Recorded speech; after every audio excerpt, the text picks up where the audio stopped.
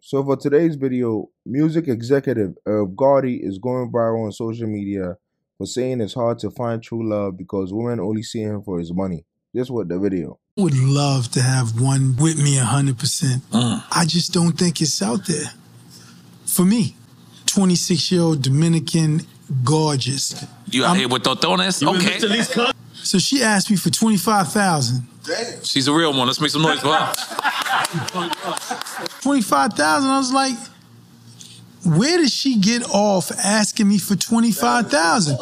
And then in the back of my head, I'm like, this is the tip of the iceberg. If she's my girl, that she gonna ask, I need a hundred. Mm, Hermes.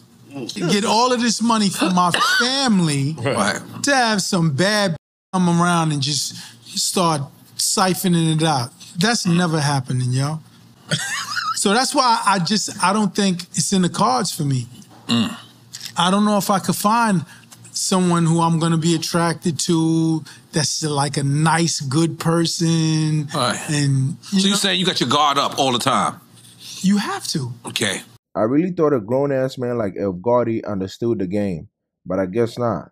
Irv Gotti, I got news for you, buddy. The women that you are seeking, the 20 year olds that are willing to date men your age, the 50 year olds are exclusively doing it for the money. And this is not anything new. This is a perfect example of you lacking self awareness. I think you'd be better off dating somebody your age or paying the price of admission. But hey, who cares what I gotta say? Let's take a look at some of the things that people have to say on social media. This person tweeted, These type of men kill me.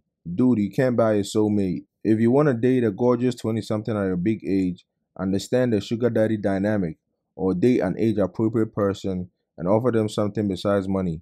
You won't get a deep connection with someone if money is all you offer. Another person also said, It ain't just females who should be trying to get out of the street before it's too late. It's you men too. Why y'all don't want to hear me? This person said, The delusion in this video is so hilarious to me. Imagine wasting your young years treating women like garbage and never growing up and expecting 20 year olds to put up with your bullshit for free. You are stingy and old. Of, of course, they don't want you for your personality.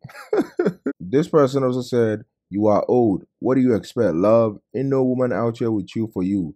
They are only with you for your money when you are older and they are younger, and we know this. Lastly, this person said, There are too many rich men proving Kevin Samuels wrong for y'all still to believe that bullshit. If you live to your 50s without a care of a mate who loves you, even if you are wealthy, it won't be enough.